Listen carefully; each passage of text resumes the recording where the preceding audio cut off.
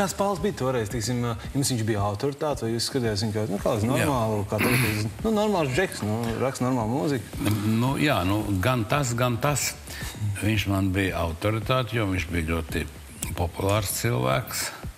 Es nebiju nekas īstenībā, nu, kaut arī pirmā dzīvoļa krājuma autors. Autoritāte man bija jau pieminētais Mārcis Čaklais, kuram 24 gadu vecumā iznāca grāmata. Man liekas, ārprāts 24 gadu vecumā un laba grāmata, kas saucās Pirmdiena, ļoti simboliski. Ja? Mm. Un arī normāls žeks man bija Raimons Pauls, protams, jo Viņš ir par mani trīs gadu vecāks, un tajos gados jau to nejūt. Un tagad atkal vairs to nejūt. Ja?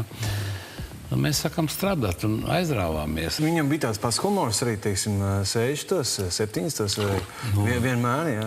Īstenībā vēl dzēlīgāks, asāks un, un, un, un pārprotams bieži. Tagad arī var pārprast, bet tad viņš bija daudz asāks, jo viņš bija jauns un uh, jaunāks. Nu, viņš to nav beidzis, bet uh, viņš pavilka cilvēkus uz zobu.